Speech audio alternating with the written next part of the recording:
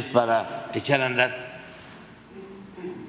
esta campaña de mentiras, porque van a tener que entregar lo que ellos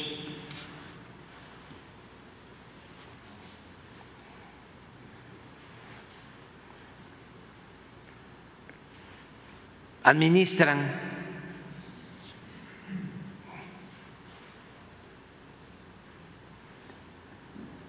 Sin que tenga un propósito que beneficie a los trabajadores. Entonces, ahí en Río Blanco hablé de esto para que el trabajador pues no reciba el 50%, cuando mucho, cuando se jubila, porque eso fue la ley Cedillo, esa fue la ley Calderón, sino que pueda recibir hasta el 100%. Para eso se necesita un fondo compensatorio que va a manejar el Banco de México. Y una de las fuentes de financiamiento para ese fondo es ese dinero, pero no el de los trabajadores, no el de las cuentas que tienen los trabajadores, sino el dinero que manejan ilegalmente las afores. Entonces, eso es lo que están haciendo.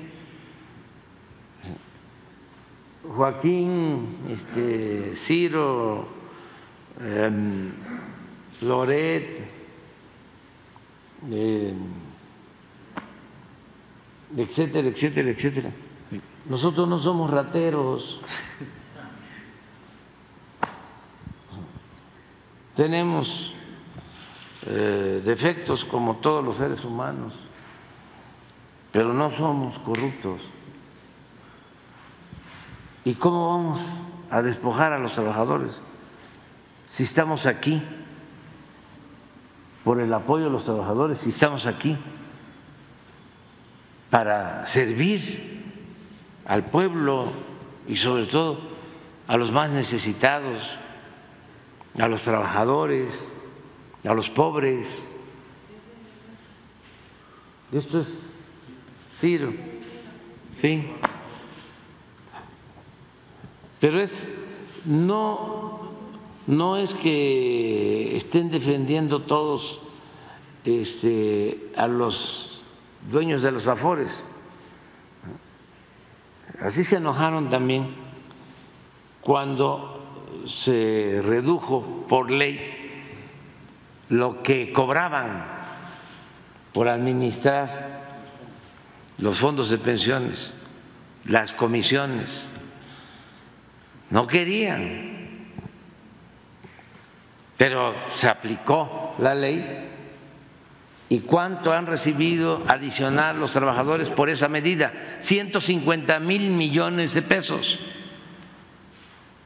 Que si no aplicamos esa medida, esos 150 mil millones se hubiesen quedado en manos de los que administran las afores y no de los trabajadores.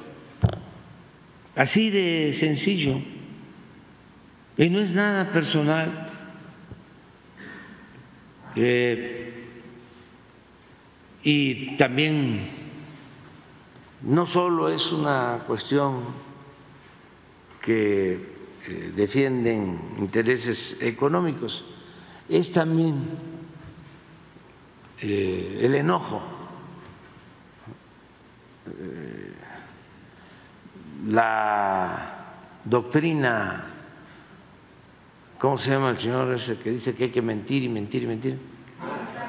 La doctrina de Alarraqui, que es la que se está aplicando ahora. La doctrina Alarraqui, este, mentir, mentir, mentir, mentir, mentir. Este,